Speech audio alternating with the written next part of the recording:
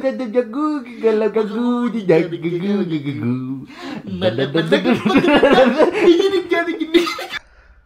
Gara-gara warisan ibu saya gara warisan ibu saya diperas sama kakaknya sampai rumah saya ditembak. Karena rumah saya dibilang sama dia. Itu udah nggak benar sih bang kalau kayak gitu. Iya makanya kalau udah sampai usir-usiran ah, kakak adek aduh kakak adek lo aduh. Maksudnya gini loh gue sama Gemma guys kalau lo mau tahu guys ini gue cerita aja ya. Sebenarnya hal kayak gini hal-hal kayak gini tuh gue lebih demen kalau jadi rahasia gitu. Tapi gue buka aja maksudnya biar jadi contoh buat lo gitu ya. Gue sama Gemma kalau lo mau tahu nggak ada sama sekali namanya perhitungan tidak ada sama sekali. Tapi gue jadi kaget ternyata pas dengar cerita orang-orang yang kakak adik ternyata nggak seperti kita. Ini kita bukan ngomongin diri ya. Tapi kalau lo mau tahu Gemma misalnya ada kurang duit dikit gue yang tambel. Gue ada kurang dikit dikit. Gue nggak minta loh dan Gemma nggak minta. Kita otomatis saja ambil contoh aja gampang gini deh. Gue nikah gue kurang sekian juta Gemma yang tambel. Gemma kemarin kurang nikah. Total gue yang tambel. Gemah gue nikah. Ada kali dia tapi masalahnya dia kan lebih kecil pendapatan daripada gua gitu kan. Tapi dia tambel. Jadi tapi nggak ada kayak nagih aja nggak ada. Nggak ada kayak eh gak, uh, gem lu kan ini gua itu nggak ada. Santai aja gitu kan. kayak flow aja gitu bahkan tadi aja gue di backstage si si si gue kan lagi ini kan aduh pengen beli Stargazer nih duit nggak ada gitu kan. Kata si Gemma lu nyicil aja nyicil ntar kalau misalnya nyicilnya bisa gue bantuin. Nah lu udah lu udah punya keluarga gue udah punya keluarga juga santai aja.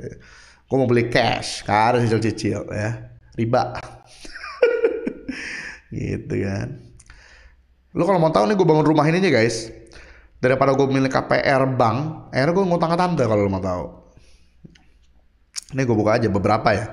Uh, pas belinya. Jadi kalau mau tahu rumah ini itu sebenarnya yang punya rumah itu jangan deh takut nonton. Ya pokoknya dia jual lah. Dia jual akhirnya gue beli tapi kurang duitnya kurang. Akhirnya gue pinjam. Tadinya nah ini, ini ini satu kisah juga buat lo yang mungkin yang muslim ya. Ada pasti keinginan untuk KPR ah gitu ya. Tapi pas gue KPR gue hitung guys. KPR gue hitung nih dulu dulu. Tar dulu nih. Gue mau minjem 350 juta kok suruh ganti? Bayarnya hampir 550 wah ini gila. Kadang-kadang keterlaluan juga KPR anjing. Maksud gue kalau lo ambil untung 50 cepet itu aja udah keterlaluan ya. 550 kan berarti lo ambil untung 200 jing. Gitu kan? Terlaluan sih gitu. Akhirnya udah gue gak mau. Eh tiba-tiba tante gue bantuin dah sama tante aja. Jadi kamu ngangsur, ngangsur ke tante. Jadi gue sampai sekarang ngangsur ke tante gue nggak nggak riba gitu kan jadi ada aja jalan. Nah maksud gue adalah intinya selalu percaya pada Tuhan. Pasti ada jalannya. Selama lu di jalan yang bener ada jalannya. Gitu. Tiba-tiba aja nggak ada loh. Gue nggak minta loh ke tante gue tiba-tiba tante gue ya udah. Eh, tante gue ngomong gini uh, tante aja yang ini ini ibaratnya yang nambelin sisanya 350 nanti kamu cicil tapi mohon maaf ya sebagai jaminan selama kamu cicil ya jatuhnya tante kayak memiliki sebagian dari uh, aset rumah Tara dulu. Ya, padahal itu basa-basi banget. Tapi ya dia tante gue juga tante gue juga maksud gini loh ini jujur guys ya. Bukan mau lagi-lagi iniin keluarga gue tapi keluarga gue itu itu lebih ke ya slow aja gitu saling nambel menambel nggak ada bahas gitu kan Makanya saran gue buat kalian-kalian yang punya keluarga, itu kalau bisa keluarga itu kayak omongannya Lilo and Stitch ya. Ngomongannya Lilo di film Lilo and Stitch. Ohana means family, family means nobody left behind gitu loh. Bahasa Indonesia adalah keluarga itu seharusnya emang nggak ada yang, keting yang ditinggalin di belakang gitu. Itulah keluarga gitu kan. Kalau keluarga bunuh-bunuhan, ya by the way cerita yang bunuh-bunuhan tadi juga sebenarnya keluarga tapi keluarga ya adalah nggak usah ceritain lah.